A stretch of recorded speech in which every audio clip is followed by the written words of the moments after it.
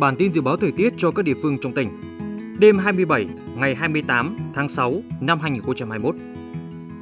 Vùng đồi núi thấp, mây thay đổi, đêm không mưa, ngày nắng nóng, gió nam cấp 2, nhiệt độ từ 27 đến 36 độ C, độ ẩm trung bình trên 75%. Vùng đồi núi cao, mây thay đổi, đêm không mưa, ngày trời nắng, gió tây nam cấp 2, đêm về sáng trời xe lạnh, nhiệt độ từ 22 đến 31 độ C, độ ẩm trung bình trên 80%. Thành phố Lào Cai mây thay đổi, đêm không mưa, ngày nắng nóng, gió nam cấp 2, nhiệt độ từ 27 đến 36 độ C, độ ẩm trung bình trên 75%. Khu du lịch Sapa mây thay đổi, đêm không mưa, ngày trời nắng, gió tây bắc cấp 2, đêm về sáng trời rét, nhiệt độ từ 19 đến 24 độ C, độ ẩm trung bình trên 75%. Khu du lịch Bắc Hà, mây thay đổi, đêm không mưa, ngày trời nắng, gió tây nam cấp 2, đêm về sáng trời xe lạnh, nhiệt độ từ 22 đến 31 độ C, độ ẩm trung bình trên 80%.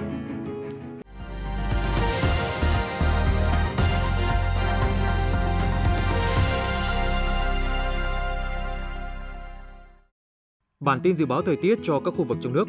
Đêm 27 ngày 28 tháng 6 năm 2021. Phía Tây Bắc Bộ, có mây, chiều tối và đêm có mưa rào và rông vài nơi. Ngày nắng nóng và nắng nóng gai gắt, có nơi đặc biệt gai gắt. Nhiệt độ từ 26 đến 38 độ C. Phía Đông Bắc Bộ, có mây, chiều tối và đêm có mưa rào và rông vài nơi. Ngày nắng nóng và nắng nóng gai gắt. Nhiệt độ từ 27 đến 38 độ C. Khu vực từ Thanh Hóa đến Thừa Thiên Huế, có mây, chiều tối và đêm có mưa rào và rông vài nơi. Ngày nắng nóng và nắng nóng gai gắt, có nơi đặc biệt gai gắt. Nhiệt độ từ 28 đến 39 độ C. Khu vực Đà Nẵng đến Bình Thuận, có mây, chiều tối và đêm có mưa rào và rông vài nơi. Ngày nắng nóng, riêng phía Bắc có nắng nóng và nắng nóng gai gắt, có nơi đặc biệt gai gắt. Nhiệt độ từ 26 đến 38 độ C.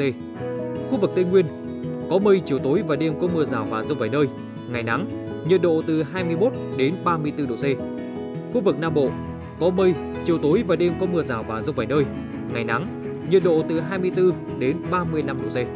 Thành phố Hà Nội, có mây, chiều tối và đêm có mưa rào và rông vài nơi. Ngày nắng nóng và nắng nóng gay gắt. Nhiệt độ từ 27 đến 38 độ C.